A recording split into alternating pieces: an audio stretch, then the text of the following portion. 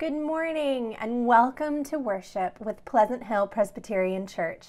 I'm delighted to be leading you in worship this morning. I'm Pastor Katie Day. I'll be joined in worship leadership by Pastor Jenny Sankey, by our reader, Sarah Steingruber, by Hinju Song, our organist, and as always, we are blessed with digital recordings of our choir led by Steve Dean, and communications coordinator Claire Kaiser produces and edits this entire digital worship service. Following worship today, we invite you to try something a little outside the box you're invited to celebrate a drive through Day of Blessings. Uh, for those of you who participated in the welcome parade when my family first uh, first came here and uh, my first Sunday, it will be much like that. You're invited to get in your car following worship. Um, from 12:30 to 1:30, we will be at the church campus. You can drive in through the back parking lot. We'll have signs and folks directing you, and you can drive around through under the portico and out the front parking lot exits. You won't even have to get out of your car. We invite you to come and be blessed by your pastors, by seeing one another's faces and uh, friendly waves, and also to be a blessing to others if you would like to drop off any donations for our mission partners, the Duluth Co op and Clifton Sanctuary Ministries as well as anything for our own little free pantry. I hope to see you later today. Take some time, if you haven't already, and sign our virtual friendship pad. Let us know you're worshiping together with us. You can find it on the worship page of our website, pleasanthillpc.org, on the same page where you found this service, in fact. And as always, we hope you're finding ways to connect with your church family throughout the week. On our Pleasant Hill Presbyterian Church Facebook page, you're invited to happy hour on Tuesday at 5. Jenny will be leading this week, and then I will lead us on Saturday at 10 in the morning for psalm and prayer. So we hope to see you on Facebook Live this week as well. And now, Let's transition from getting here to being fully present as we gather in worship and we prepare our hearts and minds to meet and be met by the God who created us and loves us.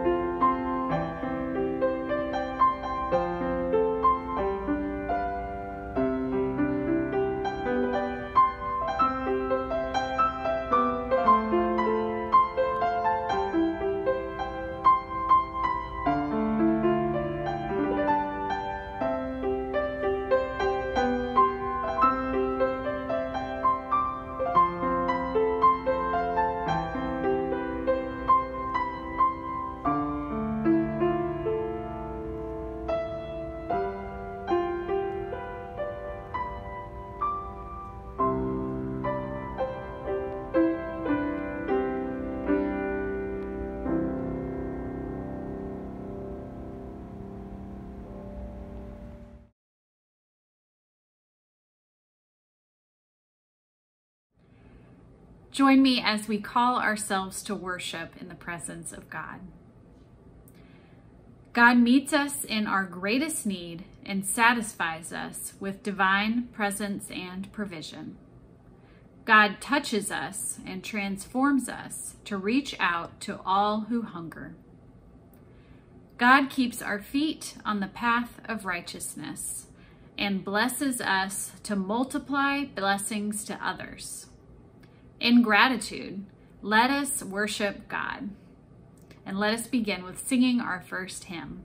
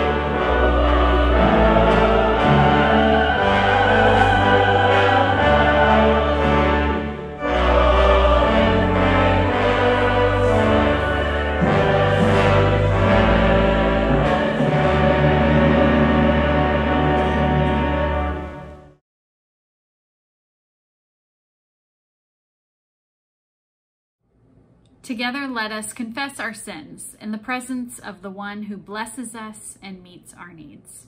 Let us pray. God of compassion, we have wrestled all night with worry instead of resting in you. We have asserted our own goodness instead of awakening to yours. We have turned away those hungry for your help instead of trusting you and feeding them from your limitless supply of blessings. Forgive us, heal us, and help us to hold on to you. We call upon you, for you will answer us, O God, through Jesus Christ our Lord. Amen. The God of steadfast love is our refuge and our Savior. In Christ, we who are broken are healed, forgiven, filled, and transformed. We are blessed. And in that spirit of blessing, let us multiply God's blessings to others as we pass the peace of Christ. The peace of Christ be with you and also with you.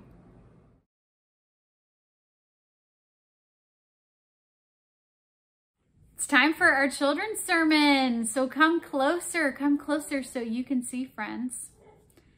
Sometimes it feels like everything's a little scary, doesn't it?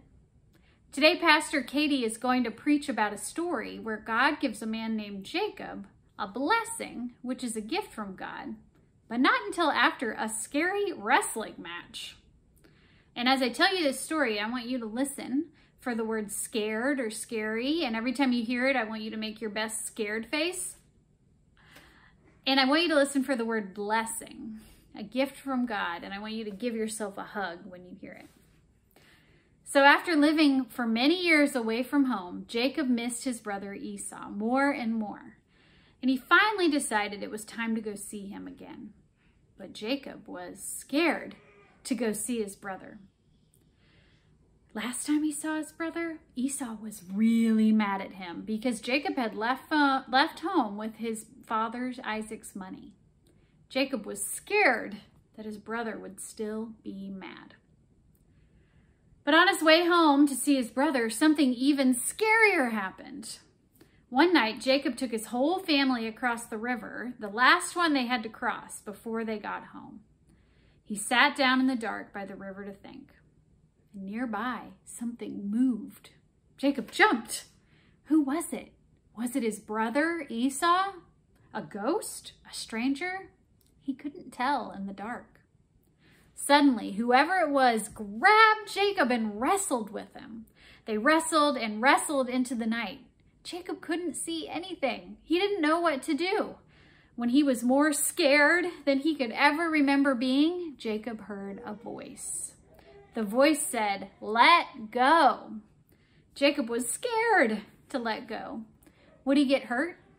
He said, I'll only let go if you bless me. The voice said, What's your name?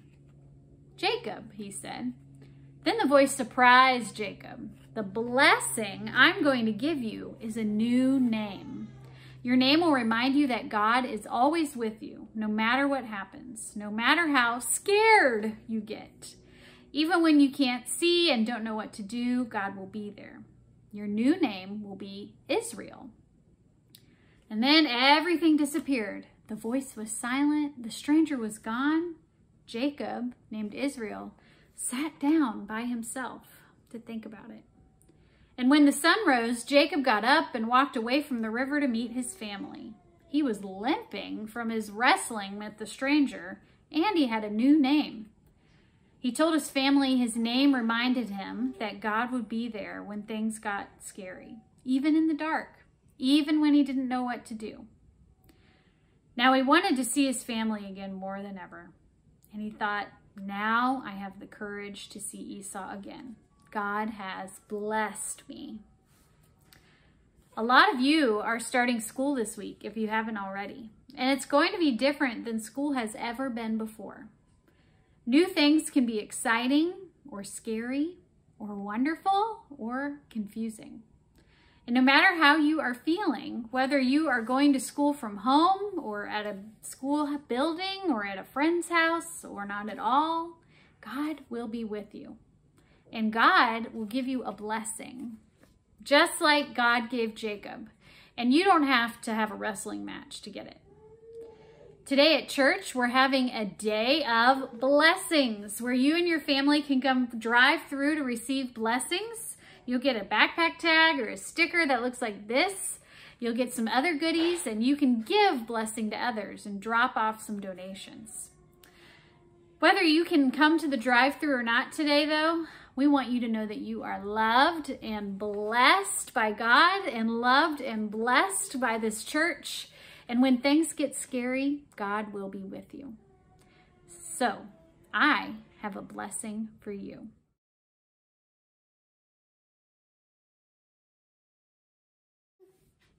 Let's close today with a blessing. And this is my blessing for you. And while I give you this blessing, every time I say the word bless or blessing, I want you to give yourself a hug. Give yourself a hug. All right?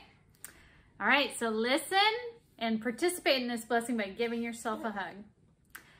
God, bless my friends because you are always with them. Bless them when things are exciting. Bless them when things are scary. Bless them when things are confusing. And bless them when things are wonderful.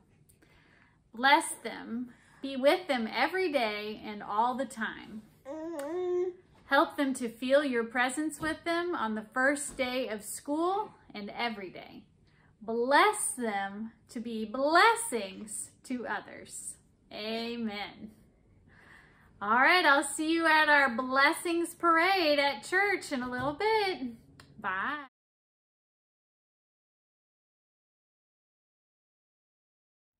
Please join me in our prayer for illumination.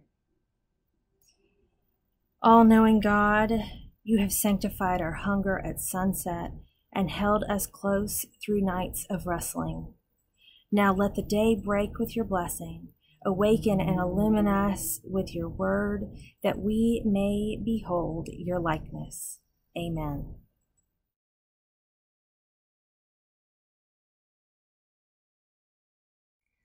Our first reading this morning comes to us from the Gospel according to Matthew, chapter 14, verses 13 through 21. Listen now for God's word to us this morning. Now, when Jesus heard this, he withdrew from there in a boat to a deserted place by himself. But when the crowds heard it, they followed him on foot from the towns. When he went ashore, he saw a great crowd, and he had compassion for them and cured their sick. When it was evening, the disciples came to him and said, This is a deserted place, and the hour is now late. Send the crowds away so that they may go into the villages and buy food for themselves. Jesus said to them, They need not go away. You give them something to eat. They replied, We have nothing here but five loaves and two fish. And he said, Bring them here to me. Then he ordered the crowds to sit down on the grass.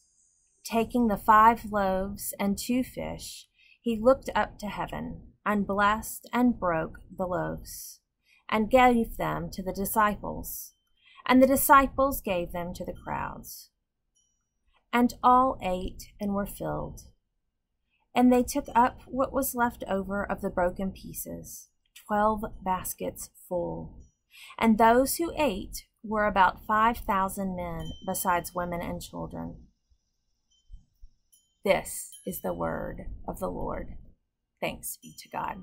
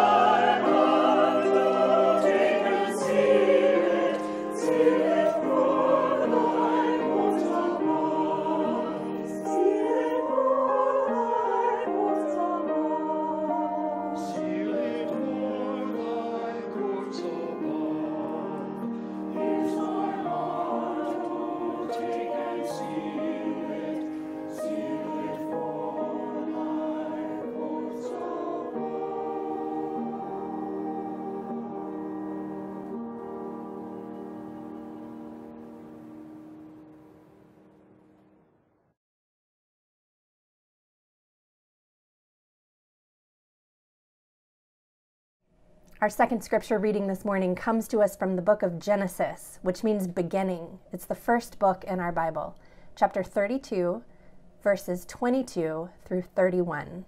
Listen again for God's word to us today. The same night, Jacob got up and took his two wives, his two maids, and his eleven children, and crossed the ford of the river Jabbok. He took them and sent them across the stream and likewise everything that he had. Jacob was left alone, and a man wrestled with him until daybreak. When the man saw that he did not prevail against Jacob, he struck him on the hip socket, and Jacob's hip was put out of joint as he wrestled with him. Then he said, Let me go, for the day is breaking. But Jacob said, I will not let you go unless you bless me. So the man said to him, what is your name? And he said, Jacob. Then the man said, You shall no longer be called Jacob, but Israel, for you have striven with God and with humans and have prevailed. Then Jacob asked him, Please tell me your name. But he said, Why is it that you ask my name? And there he blessed him. So Jacob called the place Peniel saying, For I have seen God face to face, and yet my life is preserved. The sun rose upon him as he passed Penuel, limping because of his hip.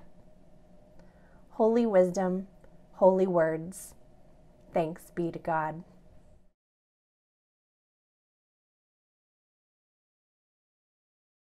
I had a friend in seminary who loved professional wrestling. He especially loved Ric Flair, the nature boy, who was platinum blonde and massive, the winner of something like 20 different championship titles. My friend would talk for hours about wrestling, who was feuding with whom, who had alliances with whom, and despite the fact that everyone now knows that WWE is in fact scripted and choreographed, he just loved the drama of it all. The theatricality, the lights, the special effects, the costumes, and the wrestling itself, he could name an incredible number of signature moves. Professional wrestling is a far cry from what we read in the text this morning. What we have here is something else entirely. It's unrehearsed, unrefined, no holds barred, and it's life changing. But before we get to the wrestling match, just like in WWE, we first need to introduce the characters. So in this corner, we have Jacob. Jacob is complicated.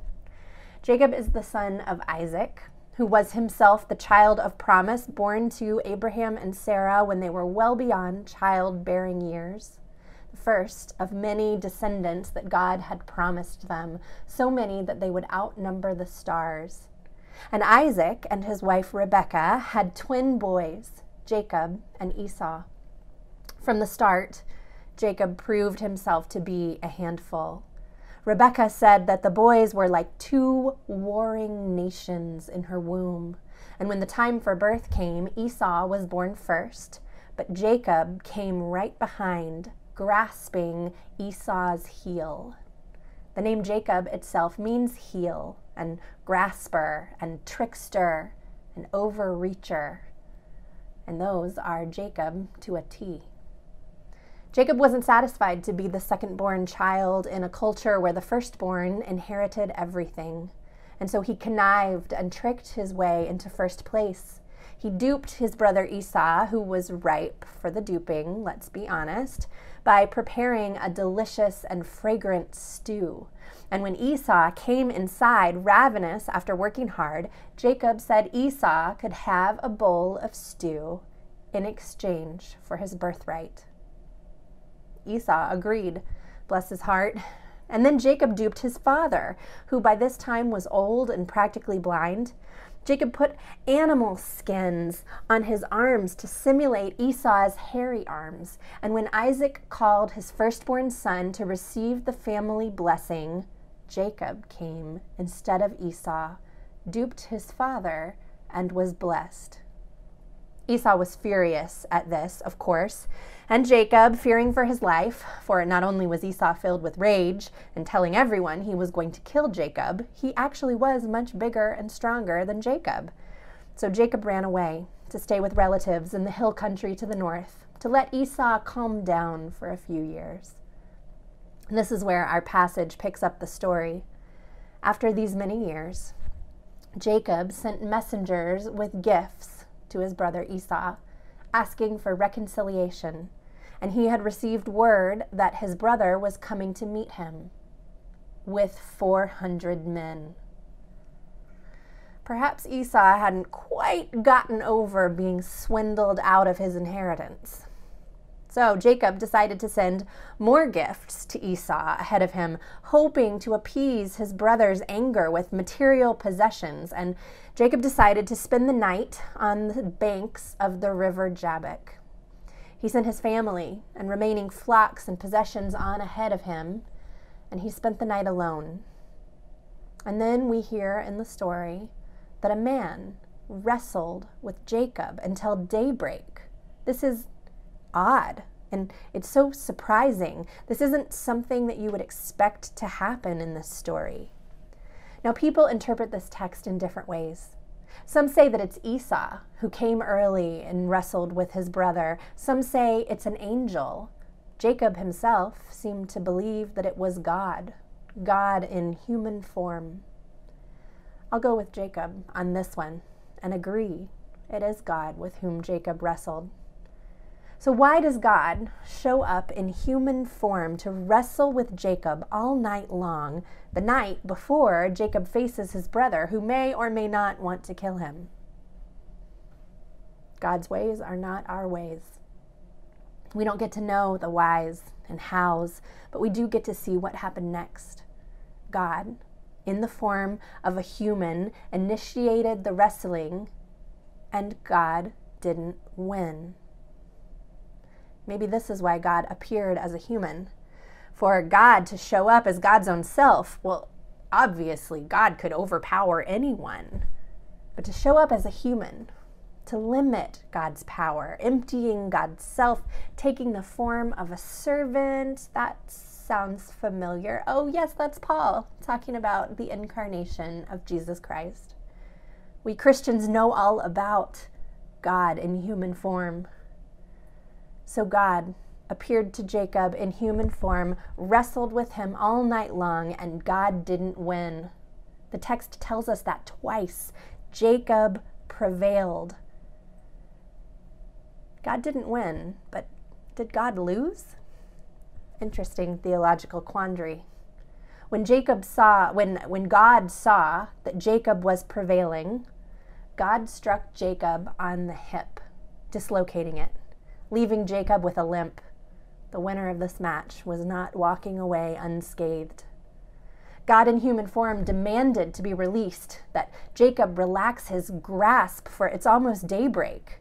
Now, this isn't out of concern for God, but rather out of concern for Jacob, for to look at the face of God in full daylight would be certain death. And Jacob, being Jacob, demanded something in return for releasing God, a blessing. God ignores that request for the moment and instead asked something peculiar What is your name? And so Jacob has to tell God his name Jacob heel, trickster, manipulator, conniver, usurper. None of these things is positive or flattering. And so God renames Jacob Israel, which doesn't just mean struggles with God, but actually means more like God struggles or God rules. And then God blessed Jacob, and Jacob released God and limped on to meet his brother. Spoiler, spoiler alert, here's what happens next if you want to read ahead. Esau, turns out, is not murderous and angry, gracious and kind, delighted to meet Jacob's wives and children, and refused to accept any of the gifts that Jacob offered him. And Jacob, who for the first time in his life humbled himself, bowing to his brother seven times upon greeting him, Jacob, Israel, said this If I find favor with you, then accept my present from my hand, for truly to see your face is like seeing the face of God, since you have received me with such favor. Please accept my gift that is brought to you because God has dealt graciously with me and because I have everything I want. It's as if Jacob is a different person. Jacob wrestled with God. He wrestled all night and he wouldn't let go. But God also wrestled with Jacob all night long, wounding him, leaving him with a limp, and renaming him, leaving him with a new identity. What a blessing. No longer the trickster, the one who wanted more and could never have enough, Jacob became Israel, the one who would not let God go, the one who would father a nation whose descendants would outnumber the stars, the one for whom God's grace became enough. Broken and blessed in order to be a blessing to generations. And the children of Israel, the people Israel. They lived into that name. Throughout Scripture, we see Israel a community of faith, striving with God, demanding that God fulfill God's promises, pleading with God to remember those promises, angry with God, turning away from God, turning once again to God, and refusing to let go. And God loved them as God loved Jacob. God loved them as God loves us. John Goldingay, an Old Testament scholar at Fuller Seminary, says this We are a people whose nature is to struggle with God to avoid becoming the people we could be, and a people with whom God continues to struggle to try to take us there. God will wrestle us again and again all night long to help us become the people we were created and called to be. God will bless us in our brokenness. Change is hard, right? Becoming someone new is hard. Change is hard. And we have faced a lot of change lately. We went from blissful freedom at the beginning of this calendar year to the frightening awakening to the realities of COVID 19, to the new normal of quarantining and mask wearing and rigorous hand washing, which we should have already been doing, to be honest. We don't like it. No one likes this. And it's hard to acknowledge that this is something we will most likely be facing for a long time, much longer than we initially imagined. Change is hard. And in addition to pandemic life, many of us are waking up to a time of social change as we bear witness to the communal rage and grief of over 400 years of injustice against black folks our African American siblings. We cannot unsee and unknow what we are being shown and told. And while we may long for the days of ignorance, even as we white folks face our own racism, our own biases, and uncomfortable conversations we might prefer to avoid, God is calling us to justice here and now. God is calling us to become the people we were created to be people of justice, people who care for our community, people of faith. Change is hard. We are wrestling, and the night is long, and dawn doesn't seem to be breaking quite yet. Jacob didn't want to change any more than we do. He wasn't repentant or remorseful. He never actually apologized for his behavior to his family or to God. And maybe he didn't actually change all that much. But I do wonder if every time he introduced himself with his new name, and he didn't have to identify with all the negative connotations of Jacob the trickster, and maybe even after his hip healed somewhat, it still twinged from time to time, reminding him of who he was and who he is now becoming broken and blessed blessed in the brokenness, and called to be a blessing to countless others. From the story Sarah read earlier, someone or several someones offered up their personal food, their dinner they brought from home when they came to hear Jesus preach. Five loaves and two fish, they offered it up, and more than 5,000 people ate. Because when we trust God's blessing, even in the midst of our brokenness. We can go beyond what we think or know is right, and we can find ourselves reconnected with those around us. No longer individuals, but a community. A community becoming what we were called to be, and this invites God to do what God loves doing multiplying. From that story, taking the five loaves and the two fish, Jesus looked up to heaven and blessed and broke the loaves and gave them to the disciples. And the disciples gave them to the crowds, and all ate and were filled. And the disciples took up what was left over of the broken pieces 12 baskets full. God multiplies.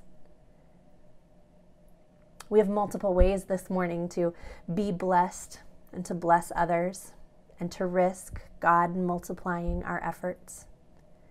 In a few moments in our prayers, we will bless our children, our teachers, all students as they start this strange and scary pandemic school year, praying for peace, for safety, for learning, for generous goodness for each one of them.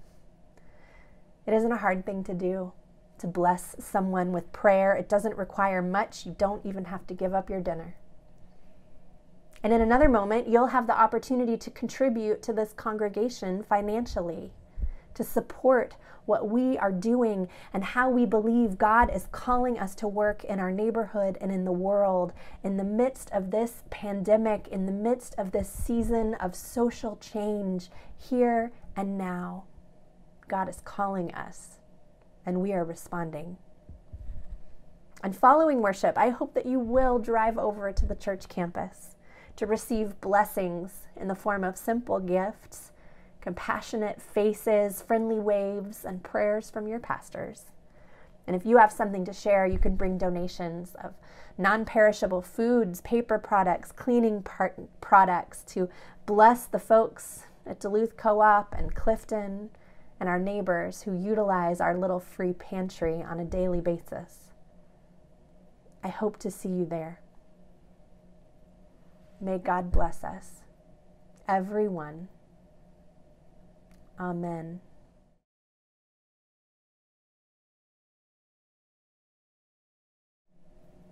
Friends, our affirmation of faith this morning is the Nicene Creed, one of our oldest historic confessions of faith.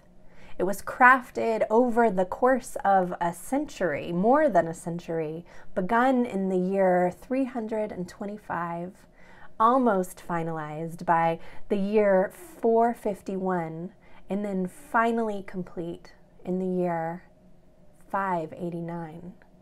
I chose this confession for us this morning to affirm what it is we believe as Christians, as people of faith, because this confession, this articulation of who God is, was a blessing in its becoming.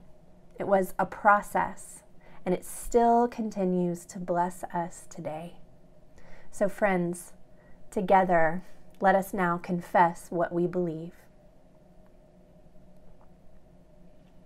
We believe in one God, the Father, the Almighty, maker of heaven and earth, of all that is, seen and unseen. We believe in one Lord, Jesus Christ, the only Son of God, eternally begotten of the Father, God from God, light from light, true God from true God, begotten, not made, of one being with the Father through him all things were made. For us and for our salvation, he came down from heaven and was incarnate of the Holy Spirit and the Virgin Mary and became truly human. For our sake, he was crucified under Pontius Pilate. He suffered death and was buried. On the third day, he rose again in accordance with the Scriptures. He ascended into heaven and is seated at the right hand of the Father. He will come again in glory to judge the living and the dead, and his kingdom will have no end.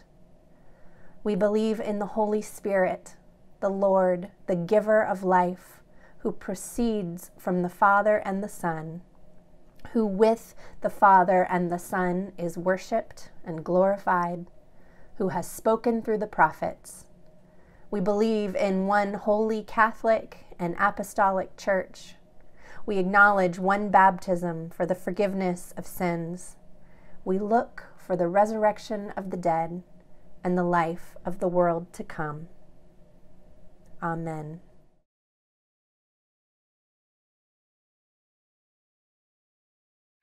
It's time to spend a few minutes in prayer. First, we'll begin on our own in silent prayer. Then I'll lead us in a pastoral prayer and we'll close together aloud with the Lord's Prayer. So let us pray.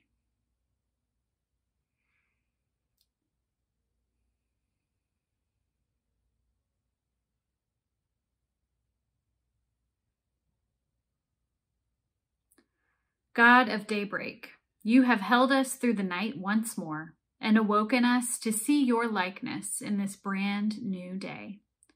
As we walk with you, show us the world and its people through your compassionate eyes.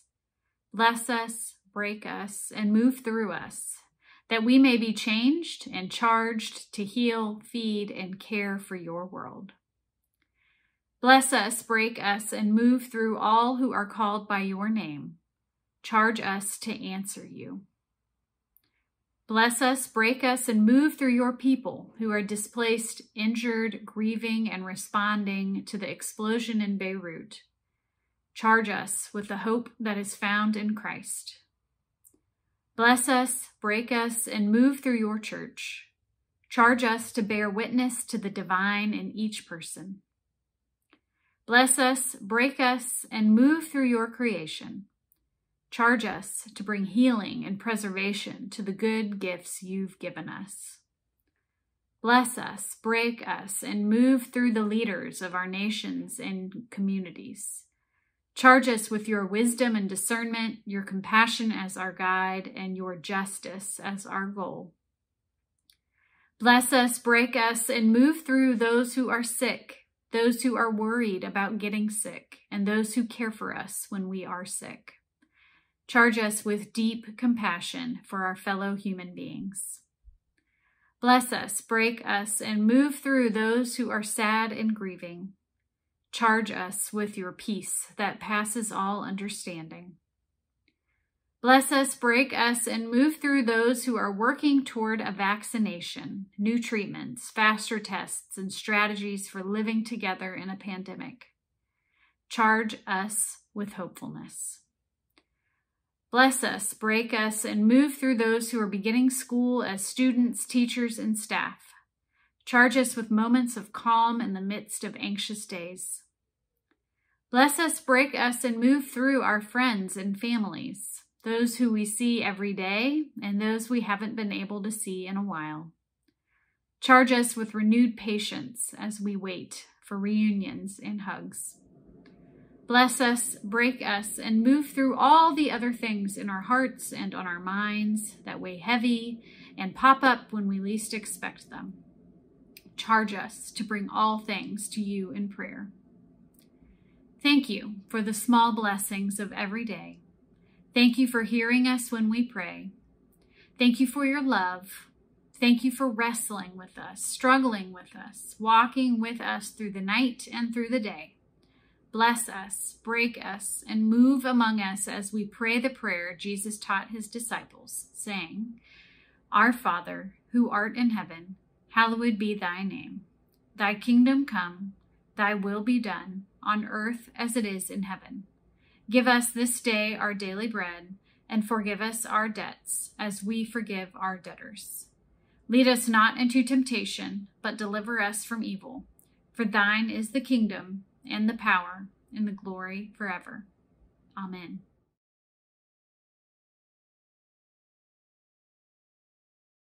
Family, this is your opportunity to support the mission and ministries of Pleasant Hill Presbyterian Church through your financial gifts. It is due to your great generosity and faithfulness that we are able to remain in ministry these days, that we are able to not just maintain what we do, but expand our reach to care for neighbors far and near in need, to continue to grow in faithfulness as we seek ways to offer fellowship education, and worship opportunities for you all in these days. So, friends, thank you for your generosity. And please give joyfully, give as God calls you to give. You can do that in a few different ways. The first is to return to our website, pleasanthillpc.org, and click on the Giving tab. You can text Give PHPC to 73256, or you can mail your offering to the church, 3700 Pleasant Hill Road, Duluth, Georgia 30096. Please join me in prayer. Loving God, we give you thanks for the generous gifts, and we give you thanks for the givers. We are grateful for these offerings and what we are able to do because of them. We ask that you would accept these gifts and use them for the service of your kingdom here on earth as it is in heaven. And as always, O oh God, transform everything we say and do so that our entire lives become an offering to you. In Jesus' name, amen.